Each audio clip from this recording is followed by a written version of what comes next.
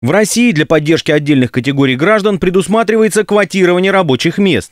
Делать это работодатели обязывает как федеральное, так и региональное законодательство. Причем речь здесь идет не только об инвалидах. Федеральным законом о социальной защите инвалидов, законом Московской области о квотировании рабочих мест устанавливается обязанность работодателей квотировать рабочие места для таких категорий граждан, как инвалиды, которым индивидуальной э, программой реабилитации установлены рекомендации к труду, несовершеннолетние от 14 до 18 лет, это э, выпускники профессиональных образовательных организаций до 20 лет, ищущие работу впервые, а также это лица из числа детей-сирот или э, детей, оставшихся без попечения родителей. Рабочие места резервируются в зависимости от среднесписочной численности сотрудников предприятия. При количестве работников более 35 человек – 1%, более 100 человек – 2%. Обязанность по квотированию считается исполненный, если работодателем трудоустроены такие граждане,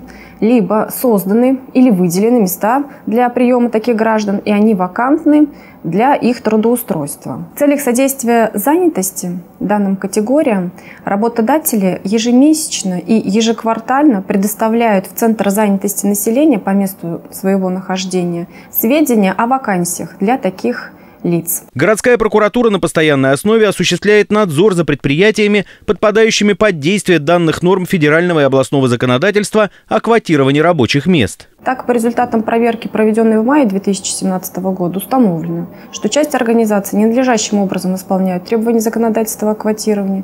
В связи с выявленными нарушениями городской прокуратуры возбуждено 7 дел об административных правонарушениях, которые направлены для рассмотрения.